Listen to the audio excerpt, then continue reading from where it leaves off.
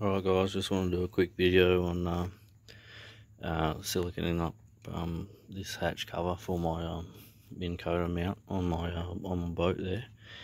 You just don't want to do too thick of a bead where it spreads out over the whole flange because when it times comes time to getting it off, it makes an absolute nightmare if the uh, silicons spread that thick. Um, nearly had to bend the thing to get it off, so um, just a thin bead sealing all your edges.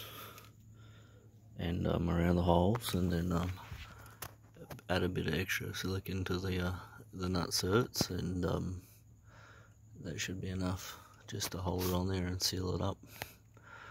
Alright. Just a bit of a tip.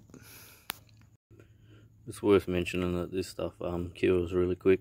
It says that you got about 10 minutes before it starts to tack off so you want to make sure um, whatever you, you're going to seal up is um, well prepped like you got it masked off clean ready to go everything's ready to roll. Um, because yeah it doesn't give you much time to um, uh, bolt it all up and then clean off the excess um, before it starts to go tacky.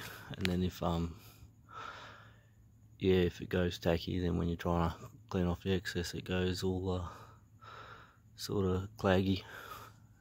So um managed to um get most of it off with how I mastered up and um yeah pretty happy with the uh, result.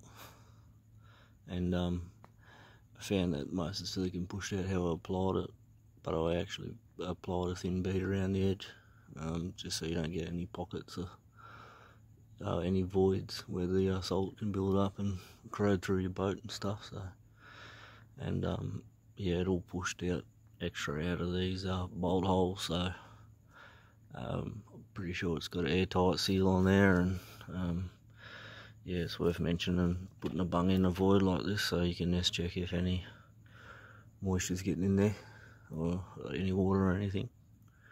And then you might just have to seal it up a bit better, but I've um, sprayed all the cavity in here with um, uh, what do you call it, lanolin?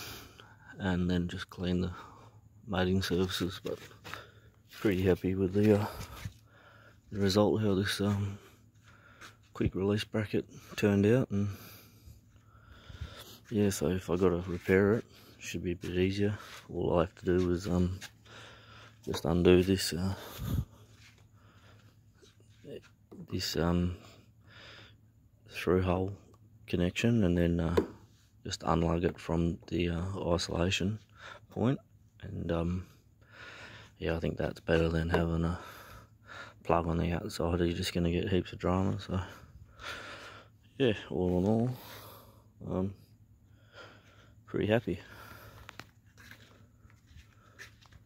And um, yeah the only other thing is I didn't leave myself too much bloody clearance with that blade there. Don't know if you can see. It's about five mil. So yeah, it's pretty precise fit, but um, yeah, the uh, Kota sits closer to the um to the cab, so that's what I wanted. And um, yeah, have the prop facing inward so you don't clip your face on it. I originally I used the original mount holes on this side, and then um, for this bracket. But then these holes um, were a little bit out, so the the puck in the middle I had to drill four extra holes, and then I Sikaflex the old holes up.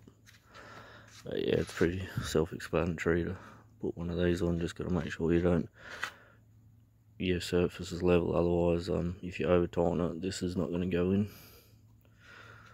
But um yeah I, am a bit pedantic so it took me a while but I cleaned everything up and checked everything that was alright alright cheers